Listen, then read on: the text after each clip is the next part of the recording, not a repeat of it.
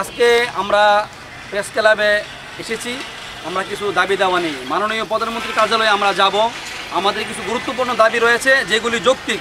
আপনারা জানেন, ইতিমধ্যেই রাস্তাঘাট মোটামুটি চলাফেরা শুরু হয়েছে এবং গার্মেন্টসগুলো খোলা হয়েছে। আপনারা জানেন, সময়সীমা দোকানপাটের বাড়ানো হয়েছে। গার্মেন্টস যদি খোলা হতে পারে, তাহলে একটি হেফস মাদ্রাসা কেন বন্ধ থাকবে? এটা আমাদের বোধগম্য নয়।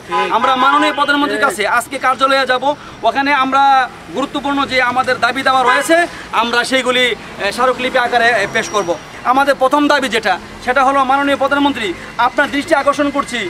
আমরা জানি আপনি একজন বাংলাদেশের প্রধানমন্ত্রী, যিনি সকাল হলেই কোরআন তেলাওয়াত করেন। আমরা সেই খবর অনেক আগে জেনেছি। আমরা চাই আপনি যেমন সকাল বুর হলে কোরআন তেলাওয়াত করেন, আমরা চাই বাংলাদেশের যত হিপসখানা রয়েছে, আপনি বিশেষ করে হিপসখানাগুলি আপনি খুলে দেওয়ার ব্যবস্থা করবেন। আমরা আপনার কাছে দাবি করেছি, ঈদের এক সপ্তাহ পরে যেন হিপসখানাগুলি খুলে দেওয়া হয়। করোনা ভাইরাসের সংকটময় অবস্থায় আমাদের সমস্ত বাংলাদেশ শুধু, সমস্ত বিশ্ব, বিশ্বই স্থবির। তারপরেও কিন্তু মানুষ জীবিকা নির্বাহে তার কাজ করেই যাচ্ছে। সরকারের নির্দেশনা মেনে আমরা আজকে মাদ্রাসা শিক্ষা আজকে হুমকির মধ্যে পড়ে গেছে এই করোনা ভাইরাসের কারণে। মাননীয় প্রধানমন্ত্রীর কাছে আমাদের বিনীত অনুরোধ থাকবে উনি যে ঘোষণা দিয়েছেন সেপ্টেম্বর পর্যন্ত শিক্ষা প্রতিষ্ঠান বন্ধ থাকার ব্যাপারে আমরাও এটাতে মধ্যে একমত। উনি আমাদের নিরাপত্তার জন্যই, জনগণের নিরাপত্তা নিশ্চিত করার জন্যই উনি কথা হয়তো বলেছেন। কিন্তু আমরা চাই যে কমপক্ষে আমাদের মাদ্রাসার যে হেফ বিভাগটা আছে, যারা কালামে পাক দিন রাত চব্বিশ ঘণ্টা ছোটো ছোটো বাচ্চারা কোরআন মুখস্থ করে, যে কোরআনের বরকতে করোনা ভাইরাস আমরা আশা করি নির্মূল হবে, সেই কোরআনের শিক্ষাটা যেন উনি কমপক্ষে ঈদের ঈদুল ফিতরের এক সপ্তাহ পর মাদ্রাসাগুলো হেফ মাদ্রাসাগুলো খুলে দেন। এই এই মুখ্য দাবিতে আজকে আমাদের স্মারকলি পেশ। সাথে সাথে বাংলাদেশে হাজারো হাজারো যে প্রাইভেট মাদ্রাসা ভাড়া ভাড়া ভবনে চলতেছে এই ভাড়া ভবনের মাদ্রাসাগুলো অত্যন্ত ক্ষতিগ্রস্ত।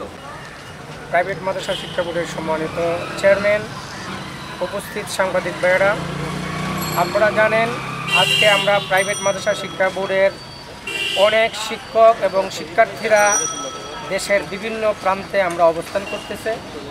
বিশেষ করে আমাদের হেফ মাদ্রাসাগুলা, হাফিজি মাদ্রাসাগুলা যে ছাত্রগুলো যারা কোরআন মুখস্থ করে, যারা দিন রাত চব্বিশ ঘন্টায় যারা কোরআন নিয়েই তাদের, যাদের খেলা, সেই বাচ্চাগুলো আজকে আমরা অসহায় অবস্থায় আছে।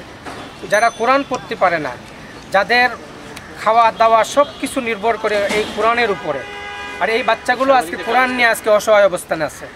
এই জন্য আমরা মাননীয় প্রধানমন্ত্রী বরাবর আজকে স্মারকলিপি আমরা প্রদান করছি।